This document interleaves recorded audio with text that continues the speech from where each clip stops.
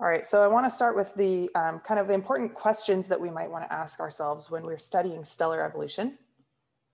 And so to put this idea, you know, around something concrete, I chose to look at the Hyades star cluster here. So um, this largest uh, red giant star here, Aldebaran, is not part of the star cluster, so we'll go ahead and ignore that. And now just take a minute and look around at this um, image at the other stars that are part of the star cluster. You might notice a few, you know, similarities between many of the stars. Maybe you notice some key differences between specific stars. And we can kind of pick out, you know, just a handful of stars in the cluster and then start asking ourselves questions about these stars and about the cluster. So some of the things that we might ask about these four stars, which we're going to return to throughout the rest of the class today, is maybe which one of these stars is the hottest star? Maybe we want to know which of these stars is the oldest. And maybe, and this is a similar question, but different, which of these stars is the closest to death? So these are some of the questions we can ask our ourselves when we're looking at a, a star cluster um, and uh, looking at the differences between stars. We can kind of use this cluster as a natural laboratory for asking these questions of the stars and figuring out what drives the differences to the answers of these questions. All right, so we'll come back to these questions um, near the end of class.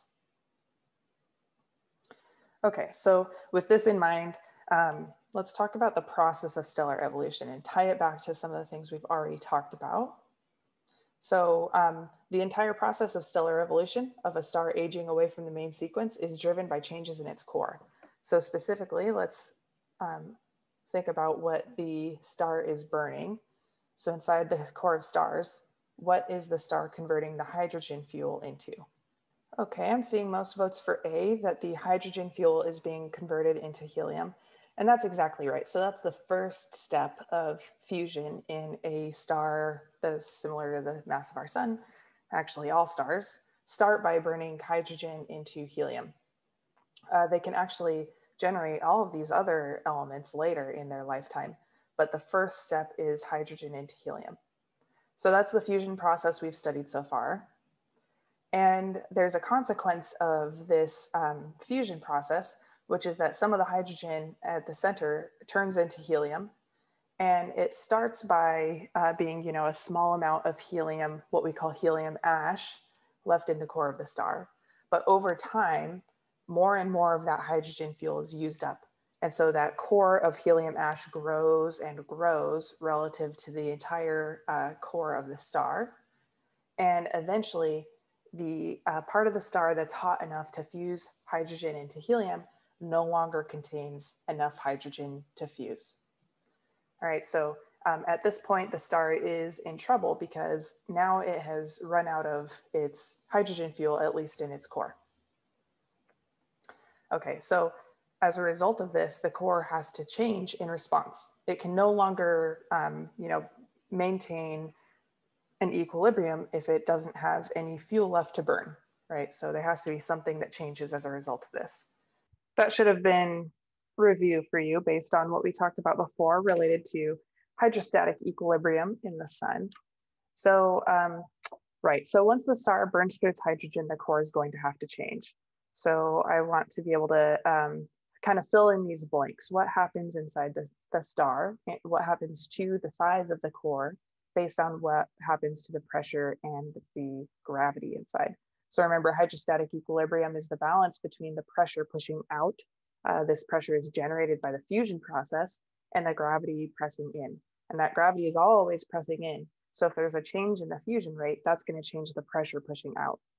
So if the star burns up all of its hydrogen fuel and leaves behind helium ash, if it's not yet hot enough for helium to fuse, this happens at a higher temperature than hydrogen fusion happens at, then the pressure is going to go down.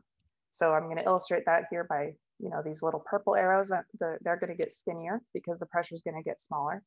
But the gravity has not changed. There's still the same total amount of mass in the overlying layers of the star pushing in.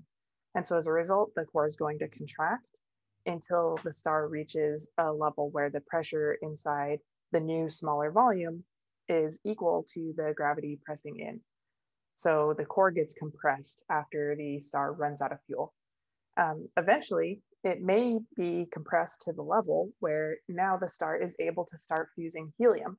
And actually, this process can occur multiple times as the star runs out of multiple different types of fuel. Uh, but this generally only works for higher mass stars. Okay, anyway, I'm getting ahead of myself. So our core here is getting compressed because the pressure is smaller due to the decrease in fusion. Okay, so what happens as the core compresses? Does it heat up or does it cool down? All right, most votes for A. Yeah, the core, um, as it compresses, it heats up because the uh, gas, as the gas gets uh, shoved into a smaller volume, then the molecules are, um, sorry, atoms are uh, moving faster on average, bumping into each other more often. And so the overall temperature, goes up. And so as the temperature goes up, that causes a, a shell of hydrogen around the helium ash core to start burning. So it, it gets hot enough not to fuse helium right away, but to start fusing hydrogen in a new layer outside the core where it hasn't been fusing before. So there's fresh fuel just outside the core. And as soon as that area gets hot enough, it can ignite. And once this hydrogen shell starts burning, it actually starts burning quickly. So the hydrogen um, shell starts to um, increase the heat in the overlying area of the star. Um, so the, the rate of fusion is also faster because for one thing, there's actually a lot of fuel because of the large area of this shell, uh, the large, it fills a large volume because it's at a large radius. And then also because the core is hotter, then the fusion process is faster. So because the core has compressed and heated, then it, it not only ignites the hydrogen shell, but it's at a higher temperature, so the fusion rate is faster. So all of these factors together mean that the hydrogen shell burns quite quickly. Okay, so this is the basic, um, this is the basic piece of evolution that we need to understand to figure out why stars age away from the main sequence. So I'm gonna return to this, but um, I wanna take a little brief detour into the idea of star clusters because these star clusters are going to be where we see this process happening and where we can compare stars of different masses as they age.